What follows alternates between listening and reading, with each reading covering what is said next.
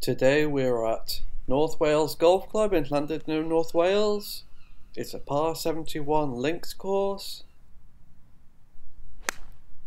The aim of the day is to try and break 85, so get to 12 over or better. Opening holes a par 4 dogleg to the left, the tee shot finds the fairway. Uh, made it over the out of bounds. So just a short iron in for the approach, going with the 8 iron. And this one's hit right on line. Happy with that one? Yeah, really good, right next to the flag. But strolling up to the green, we can see our ball's in the back fringe. And the ball actually pitched here, just right by the flag, and rolled out to the back. Still not, not too bad of a shot though. We have an 18 footer for birdie from the fringe. Stop short. And we tap in for the easy par and we're off to the races. Hole 2 is a par 4 dogleg to the left. And we hit a poor drive down the right, but it's still in play.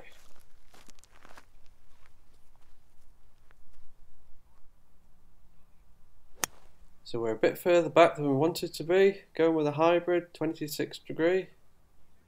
And we hit a great shot that finds the back right edge of the green. Thumbs up with that one. Yes, right, right side of the green. And here's our birdie putt coming up. Happy with the green in regulation. It's a long birdie putt, a 30 footer downhill.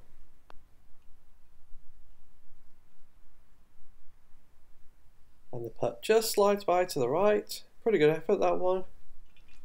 Always tough to judge the downhill lag putts.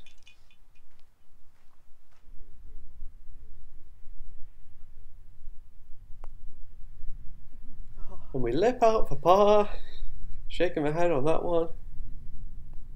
And we tap in and caught our first bogey of the day. Hole 3 is a short par 4 that plays downhill slightly. Didn't want to take the driver as it might go too far. We hit a nice shot that finds the fairway. Thumbs up. Yeah, pretty good, safe as houses that one.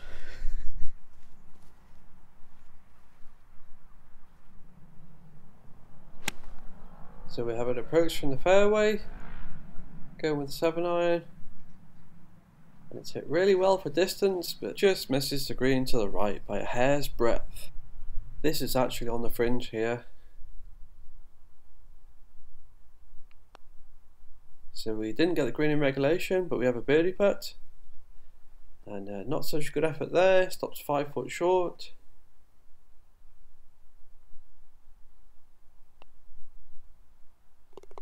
We hold the five footer for par, never in doubt, and card our second par of the day. Hole 4 is the first of the par 3s at North Wales Golf Club. It's a long one, going with a 22 degree hybrid just to get it there. And we make a great connection with a tee shot. Thumbs up. Yeah, really good. That's right on line that. It's uh, back of the green I think. I've never hit this green in one before, so really chuffed with this one.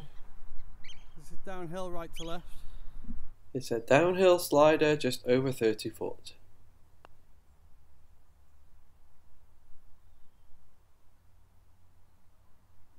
And in reality it's just a lag putt to get close. Uh, stopped a little bit short, but not too bad.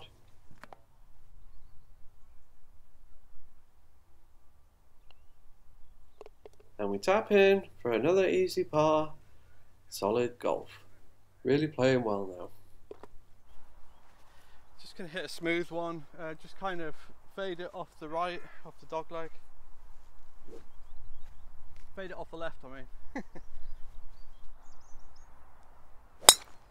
Hole 5 is the dog leg to the left, par 5. String the next two hardest hole on the front 9. We'll make a great connection with the driver. Thumbs up. But unfortunately, I didn't realise there's this ditch here.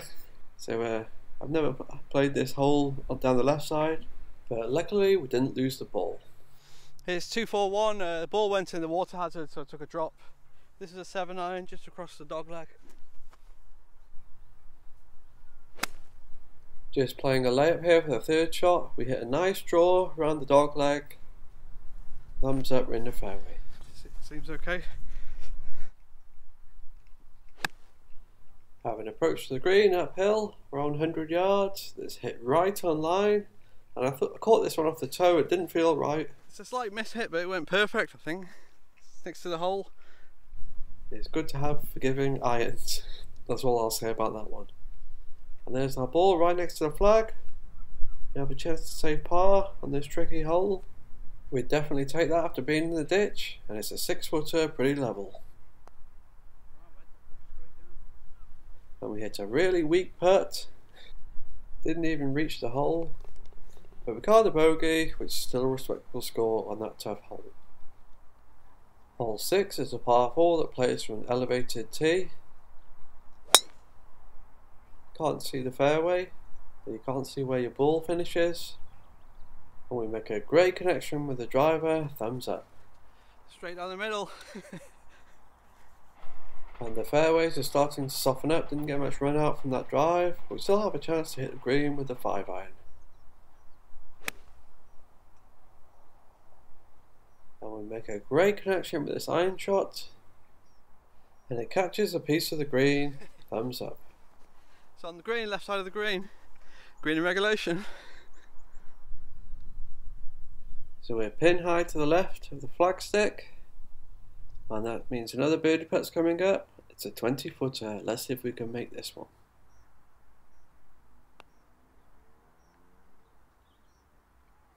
And the putt drops.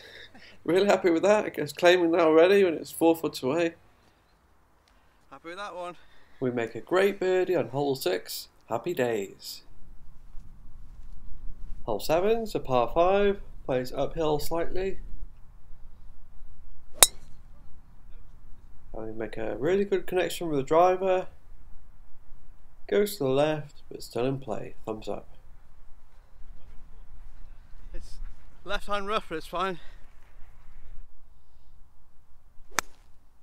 Second shot is a layup with the hybrid, just trying to get it down there as far as possible. That didn't draw. And it didn't draw, but I think I got a couple of lucky members bounces forward. 61 pins at the front though, so just hitting the sand wedge. The ball must have rolled a lot down the fairway actually here. Two really good shots of over 200 yards, leaves us just a sand wedge to get the green in regulation, and that's what happens. Yeah, I'll take that one. So we have another birdie putt coming up. I've said that so many times on this front nine already. It's a 15 footer, slightly right to left. Let's see if we can make this one. It misses short, had the line but I just didn't hit it. That was to go back to level par on the, on the seventh hole. And we tap in for another easy par and we're just flying on this front nine. Playing really well. Hole 8, one of my favourites at North Wales Golf Club. It's a blind tee shot over the marker post. Par 4. You'll see why it's such a good hole in a minute. And we hit a great connection with the driver down the left. And here's the hole. The par 4 the fairway is just crazy. All the uh, bumps and hollows you have to clear. I think it's about 170 yard carry to the, the fairway. It's the type of hole that you'll never play it the same twice. And there's our ball right next to the bell to notify the group behind you. And we have a great chance to hit the green in two. It's 140, 127 to the front. The pin's at the back though, so just to hit the seven, uh, six iron, full shot. Hopefully get it on the green.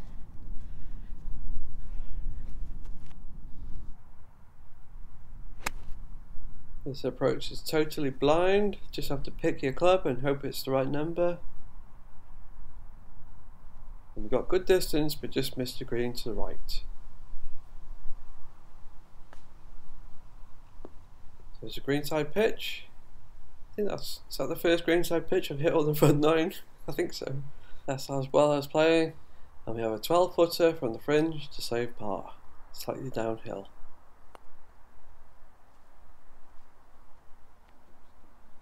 And the ball slides by. and we make the one coming back card a bogey with no drama on hole 8. And now we're walking into the uh, the show-stopping holes on this course. That's West Shore Beach on the left and the Great Orme in the background. And if you you're just walking up to the tee here on the ninth hole, really nice views of the uh, Conway Mountains there. Just panning over here, yeah, just really nice part of the course. This this and uh, great weather as well. It cleared up nicely. Hole nine, it's a short par four. Going with high off the tee for position. Don't want to massively hook this ball that will end up on the beach. And make a great connection with a tee shot. It finds the fairway. Straight down the middle. Strolling up to the fairway here, so that's the Great Orme in the background. It's a limestone headland, according to Wikipedia. And here's our ball in the fairway, going with a 7 iron just to get it there as it's slightly uphill. And we make another great connection with an iron from a approach shot, and it finds the green.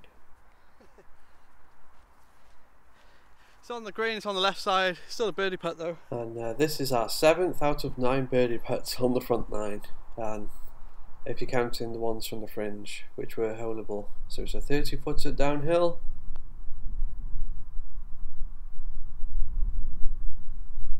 Stop short, I was a bit defensive on that one. Have a 4 footer for the par.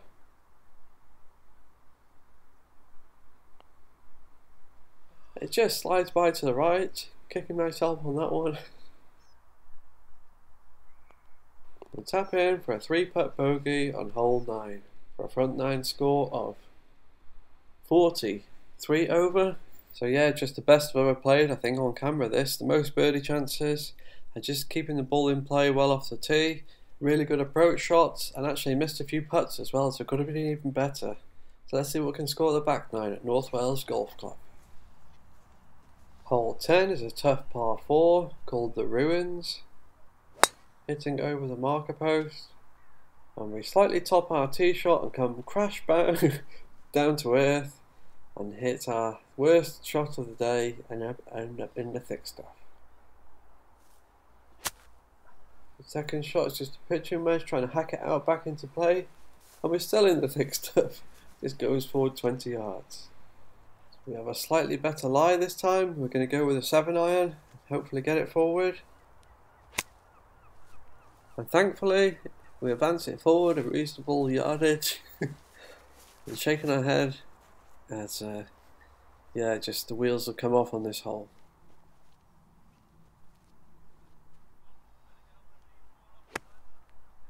We have a pitching wedge into the green, still have a chance to salvage a bogey out of this mess. But we missed the green short just slightly. Still have the bogey putt coming up. It's a 30 footer from the fringe. This one's just hammered by. I think, yeah, just the adrenaline. You know, when you're losing all your shots, you lose your feel of the putting.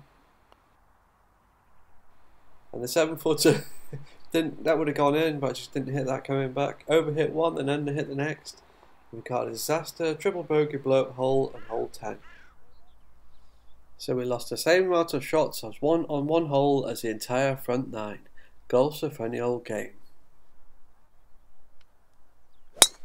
And just when it couldn't get any harder, hole 11's probably the toughest driving hole on the on the course. Stroke next one.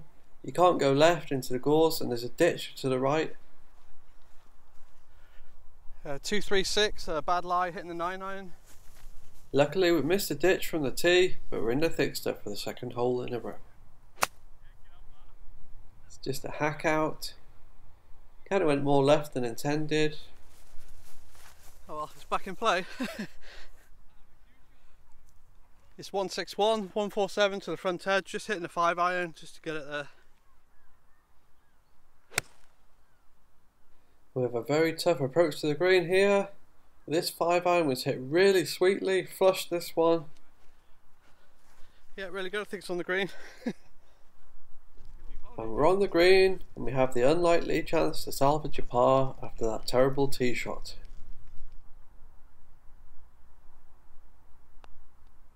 So it's a big green this one, 28 footer for the par. Stop short.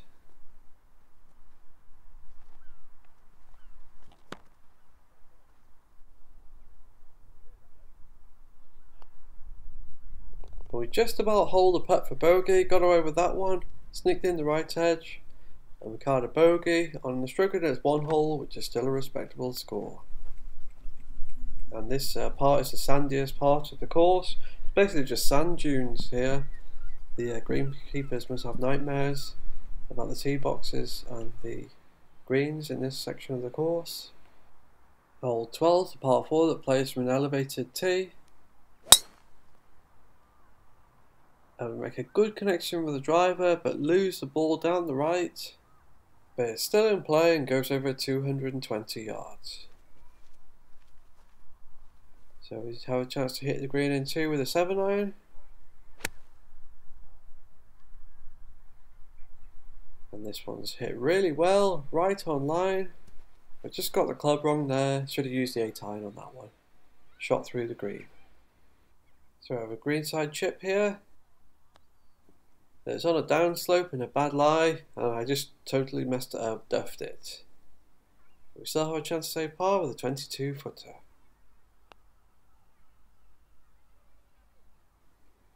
It nearly drops. Couldn't get much closer than that. Hit a really good putt there for once. Ricardo bogey and move on. Hole 13's a longish par 3 from elevated tee position. Playing into the sun here. Going with a 5 iron. Just trying to smash it. Trying to get it to the right side of the green. I, I didn't see that at all. I didn't have a clue where the ball went at that time, but I hit it exactly as intended. and missed the green long right. So it's a long lag putt here, 52 foot, just a percentage play going with the putter. And it's just terrible. The bad putting's back. Just hammered it straight through the break, nearly off the green. Another 15 footer for par. And this one's hammered by as well. yeah, my putting was really inconsistent on this day. It's not the greens, it's me. I just wasn't reading them right, I think, getting the pace right. So, what's this, a five footer now, knee knocker for a bogey? Not an ideal putt. But luckily it drops. Ricardo bogey and get the hell out of there. Made a bogey the hard way there.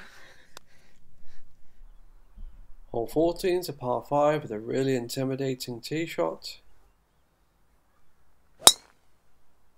Just can't miss left or right, otherwise potentially a lost ball. And we make a great connection with the driver that finds the fairway. Straight down the middle, that one.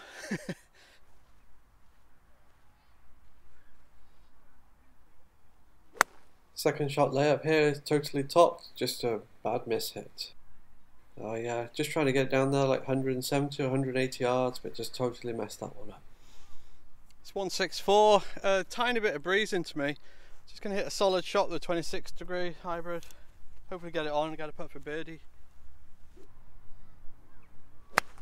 The 14th green here is the clubhouse, is right next to it, and there's a few people on the patio, It's a bit of extra pressure. And I messed up this approach shot too. Bunker on the right. and my bunker play is probably the weakest part of my game. Not an ideal situation this one. It's kind of plugged, so I'm gonna go gonna come out left. Just get a putt for par hopefully. Oh yeah, it's fully plugged. So it's a plug ball. I can't I've got the lip to deal with the bunker and can't go at the flag.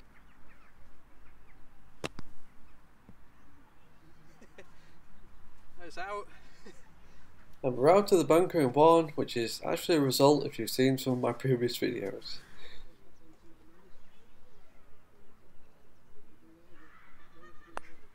We have the 30 footer from the fringe.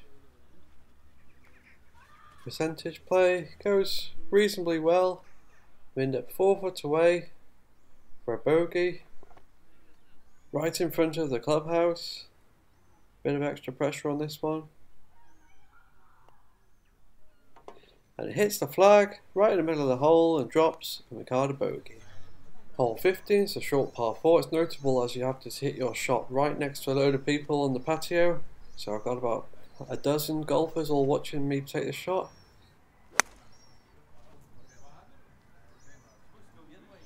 Got a comment from one of the fellow golfers on the patio. The draw's not working today. I hit the ball the wrong way, but we're in play down the right. It's 163, one front edge is 150. Just hitting the uh, 26 degree hybrid. Get on the green, get a putt for birdie hopefully. We have a chance to hit the green in two. And that's what happens. That's a pretty good shot. it's a good line that one. We have our first green in regulation on the back nine, so it's the first birdie chance of the back nine coming up. It's a 25 footer uphill. Let's see if we can make this one. Just misses to the left. Pretty good effort actually that one. And we tap in for the easy par and move on. And just a quick note, uh, that hole 15 was stroke index 4, second hardest hole in the back 9. And looking back at the green, it's uh, yeah very tight. If you miss pin high left or right, you can lose a lot of shots. It's 137, 125 to the front edge. Uh, pins behind the mound on the left. Just going to hit a full 7 iron, it's slightly downhill. And now it's on to the back to back par 3s that crisscross each other. Very unique and memorable holes, these ones. Uh, hole 16 is hit into a blind green. Let me get good distance. Oh, you can play your shots and ahead. What are you doing? Uh, left side of the green, that one. I recorded my rounds. Oh, you're recording. yeah, I put them on YouTube. There was some members, I let them play through.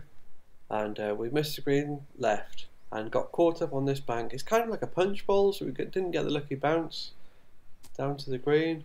So we have a very tough greenside uh, chip kind of shot here. Yeah, and this one was just kind of almost an impossible type of shot to get close. We still have a 10 footer to save par. Let's see if we can make this one. We miss short left. And we card the bogey with no drama on hole 16. And here's a quick look back at hole 16. Yeah, it's just a tiny green and just so much trouble left and right. And it's actually hole uh, stroke index 18, so uh, I couldn't work that out. So now we move on to hole 17, which is the highest part of the course. It's a really nice par 3. Just hitting the 8 iron. There's a tiny bit of breeze into me. Hole 17 is one of my favourite holes on this course and our tee shot is hit right on line. Definitely don't want to be short on this hole. And we're on the green. Yeah, it's about 10 foot for birdie though. I clubbed up slightly on that one and it was definitely the right decision. There's a lot of trouble short of the screen, so I was going to hit the 9 iron but changed at the last second. So we have a birdie putt coming up, it's a 15 footer, this is what we have slightly downhill. Let's see if we can make this one.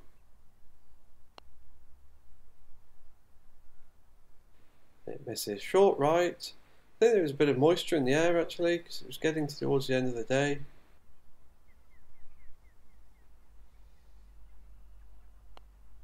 And we tap in for the easy par and move on to the final hole which is a short par 4 from an elevated tee position Quite a nice ending hole this one.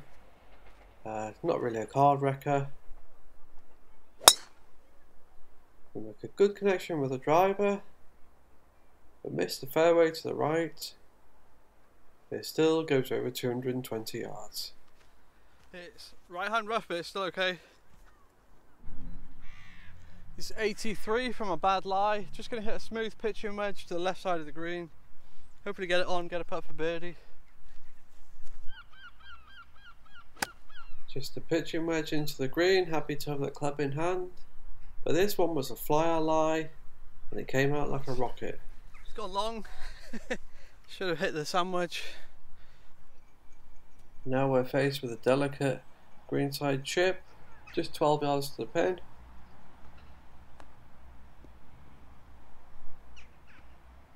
It goes well, all things considered.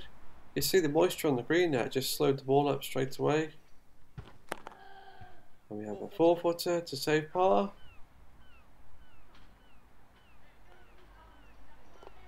And the putt drops right in the middle of the hole. Happy with that one. That's a good round apart from the massive blow up on the start of the back nine. So the final score was 82, 11 over. So we've done it. We've uh, broken 85 I've been 12 over or better on this course. So that was the target at the start of the day. So really happy with that. Played amazing on the front nine. It's probably the best I've ever played on camera. Even better than some of the previous rounds. And actually missed a few putts on that front nine. So could have been even better. Just had the one blow up hole at the start of the back nine but finished uh, the round quite strongly with 3 out of 4 pars, and I was pleased with that and happy with the round in general. My approach play was really improved on this day, and I think that was due to the fact I'd played two shorter courses just before this, and it really sharpened up my iron play. I was hitting the greens or getting to the green fringes, and that really helped to keep the scorecard ticking over. I played quite well off the tee on this day, just one went into a hazard and two went into deep rough, the rest of them were all playable and had chances to hit the greens in regulation, and that helped the scorecard too. The course was in great condition on this day, just a couple of fairways, I think they were letting them grow back after the grass had died over the dry summer, but other than that, it was perfect, great conditions for golf. I paid £35 for this round at twilight rate, which is a lot more than I normally pay. Can't play there every week, that's for sure, but it was worth it just to play. The, it's good to play these courses once in a while just to test your game against the um, the really nice setups, and I enjoyed the round all the same. So thanks for watching. Hope you enjoyed the video. I enjoyed playing and making it, and see you on the next one. Signing off.